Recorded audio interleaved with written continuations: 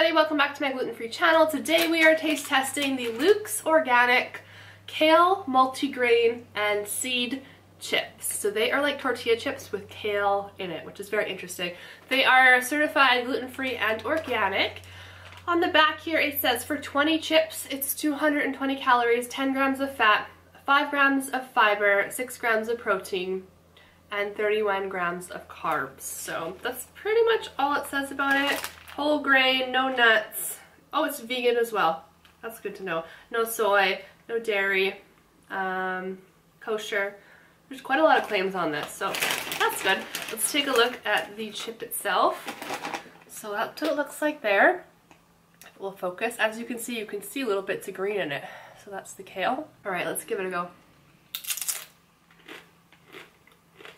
crunchy, just a little bit salty, not too salty. I'm tasting a lot of corn. I'm looking at the ingredients here. Honestly, it just tastes like your typical corn tortilla chip. I mean, I like that they put kale and seeds in it, but it's definitely not adding to the flavor at all. Um, there's not a lot of flavor. You basically taste corn. There's It's made with brown rice, millet, quinoa, and amaranth as well.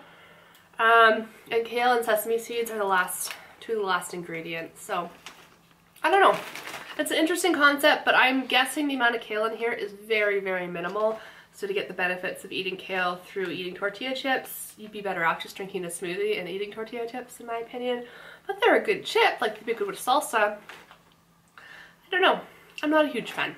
That's what we're gonna go with. I'm, I'm not a huge fan. I would definitely check out more from the line. I'm sure they have different flavors and different other types of chips. So I will continue to research the brand, but this one is currently not my favorite. I'll link it down below in case you want to check it out for yourself. Don't forget to follow my Instagram and website and I hope you guys have a fabulous week and thank you so much for watching. Bye!